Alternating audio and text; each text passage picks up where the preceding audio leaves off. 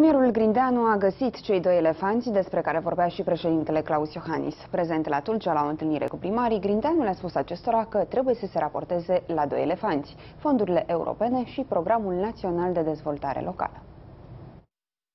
Sorin Grindeanu a lansat un avertizment pentru primarii PSD.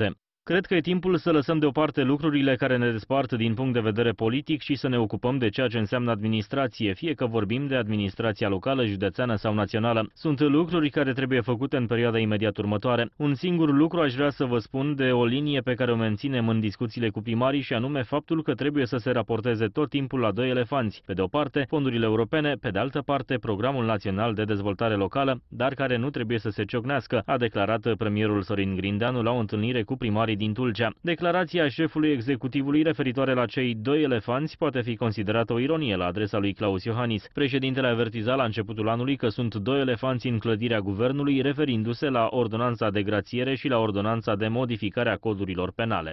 Cunoașteți povestea că este un elefant în încăpere, dar nu se vede. Sunt doi elefanți, ordonanța de grațiere și ordonanța de modificare a codurilor penale.